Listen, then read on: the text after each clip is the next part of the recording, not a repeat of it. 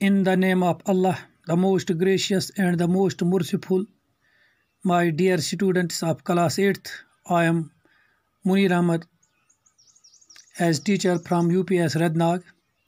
Subject English, topic Spring season, date 26th of May 2021.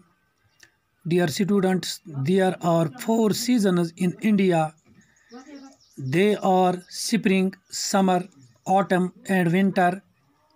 Every season has its own charm and beauty.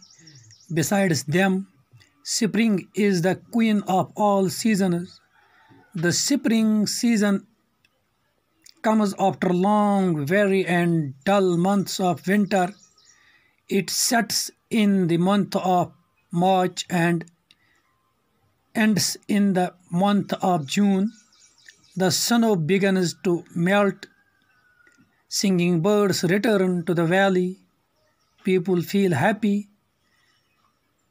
There seems joy and new life in everything and everywhere. Trees put forth new leaves. Green, gra- green grass begins to grow that covers the ground. It is neither too hot nor too cold. Days and nights are almost equal. Schools and colleges reopen after a long break. People bask and enjoy the sun. People go to the beautiful gardens. Thank you.